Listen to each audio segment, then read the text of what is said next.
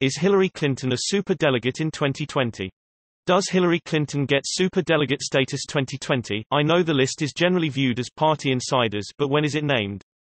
Will she be the kind of insider that gets to vote after the pledged delegates? No, she is not.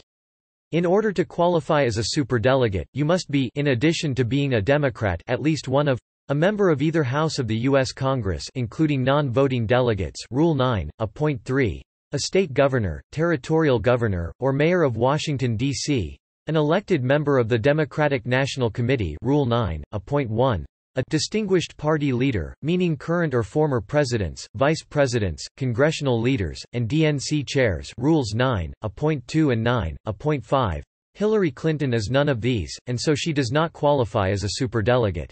Source, Democratic Party